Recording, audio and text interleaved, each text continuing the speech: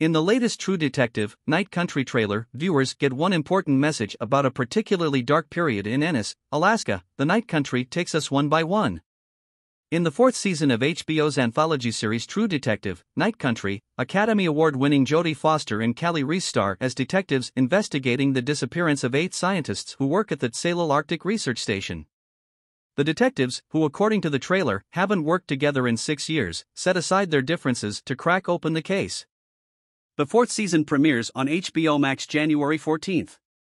This season features two female leads, a first in the show's decade long history. The cast also includes Finn Bennett, Fiona Shaw, Christopher Eccleston, Isabella Star LaBlanc, and John Hawkes.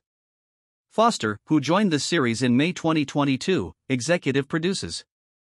Guest stars include Anna Lambe, Akaniviana, June Thiele, Diane Benson, and Joel D. Montgrand. Written and directed by showrunner Issa Lopez, viewers get additional clues on the six episode series with a spiral pattern drawn on a victim's face and wall, and one character takes a deep plunge below the iced surface.